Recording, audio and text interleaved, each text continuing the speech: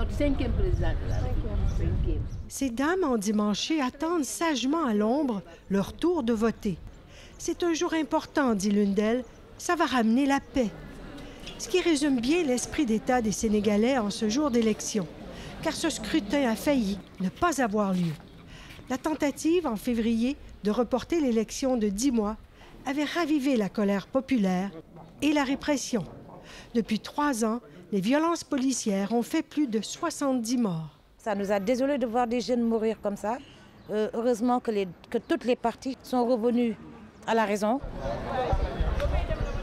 Les Sénégalais sont fiers de leur démocratie qui a été fortement ébranlée. Le président Macky Sall a pris les grands moyens pour écarter ses opposants. Mais la répression, les accusations et les mois de prison n'ont fait que gonfler leur popularité. Monsieur le président Bassirou Diomaye Faye gagne les élections, euh, énormément de choses vont changer. Ouais, J'ai vraiment espoir.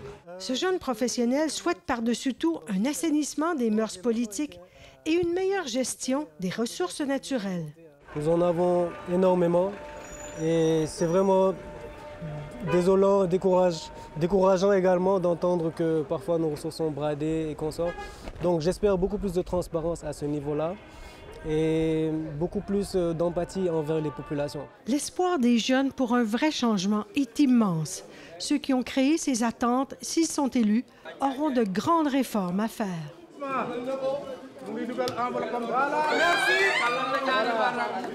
C'est donc cet homme pratiquement inconnu du public jusqu'à tout récemment, libéré de prison il y a dix jours, qui pourrait devenir le prochain président du Sénégal. C'est que ces moments nous rappellent qu'il n'y a qu'une seule souveraineté, en réalité, c'est celle du peuple.